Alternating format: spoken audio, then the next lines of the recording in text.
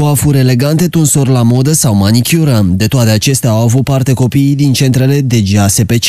Ei s-au lăsat pe mâna unor șomeri care fac cursuri de specialitate prin intermediul AJOFM. Ați învățat multe la acest curs? Da, am învățat multe. Am pornit, putem să spunem că am pornit de la zero și am ajuns undeva unde ne putem descurca. Ce ați mai tuns în ultima perioadă? Am mai tuns în familie, am mai tuns la centrele de copii și la centrul de bătrâni de la Novaci, de la Pociovaliște, casele de copii și... De ce ați optat pentru acest curs? Păi am optat pentru că este o meserie frumoasă, în primul rând și exact ce am mai spus adineauri, e important să faci totul din tot sufletul. De ce ai ales un asemenea curs?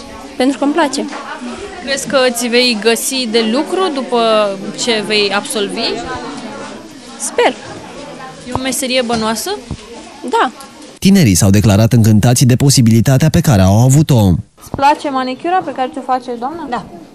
Și ce ți s-a mai făcut astăzi? Uh, m-a tuns doamna de aici.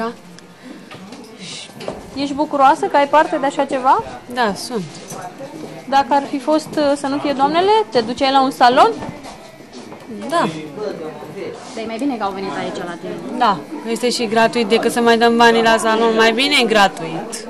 La fel de mulțumiți au fost și reprezentanții Direcției Generale de Asistență Socială și Protecția Copilului Gorj. În cadrul complexului au beneficiat uh, peste 30 de copii de serviciile oferite, frizerie, coafură și manicură, un lucru uh, pe care noi îl apreciem foarte mult, deoarece este uh, primul proiect la care noi participăm în calitate de beneficiar, un astfel de proiect, iar uh, fără ajutorul dumnealor, uh, acest lucru ar fi fost uh, greu pentru noi. Reprezentanții AJOFM spun că acest curs de coafură, manicură și pedicură este unul foarte solicitat de gorjenii care vor să se recalifice profesional. Este un curs la care aveți, nu știu, solicitări multe?